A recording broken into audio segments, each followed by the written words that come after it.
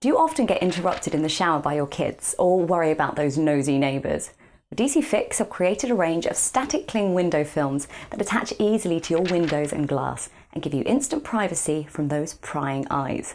In this video, I'm going to show you how to attach a DC Fix film in the Candice design to create a modesty or privacy panel on your shower cubicle or screen. Before you get started, you're going to need a DC Fix window application kit including a smoother, spray bottle and craft knife, a pair of scissors, and a dry cloth.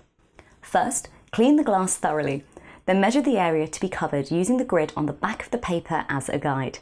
Ensure you cut the film 4mm shorter than required. This will give a 2mm gap around the edges of the film once applied. Fill the spray bottle with a solution of washing up liquid and water, then apply to the shower screen.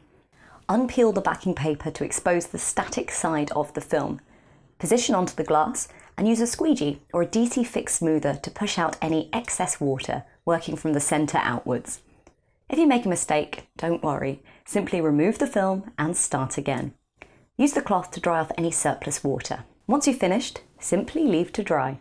The film uses static technology to cling to the glass once the water is dried out, so it's easy to remove and reapply should you need to clean the glass or fancy a change. Removing the product leaves no residue and the film is easy to wipe clean. DC Fix can be used on all types of glazing such as your patio doors or kitchen windows to create privacy from passers-by. So I hope that shows you just how easy it is to use DC Fix to create privacy in your home.